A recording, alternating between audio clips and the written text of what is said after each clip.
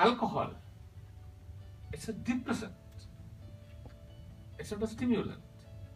But all over the world, if you ask, even medical students, because once in two months, the medical college uh, of Colombo sends teams of young people to ADIC to get exposure to field activities and part of it we have a one hour discussion with them.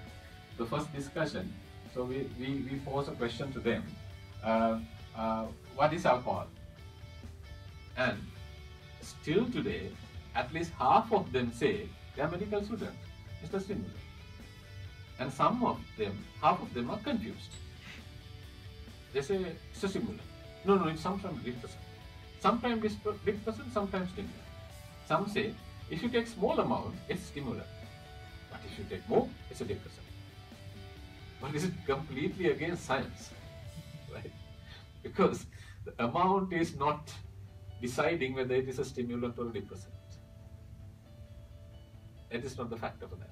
So therefore, including medical medical students that the, all over the world, there is a kind of myth that considering alcohol as a stimulant, it is because of the social learning.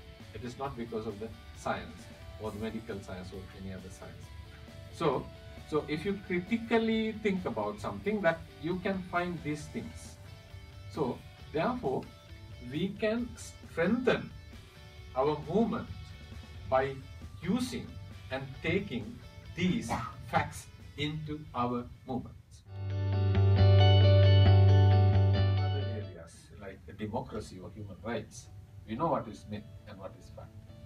But unfortunately, due to many historical factors, social factors, and other things, this alcohol field, this myths and facts are mixed.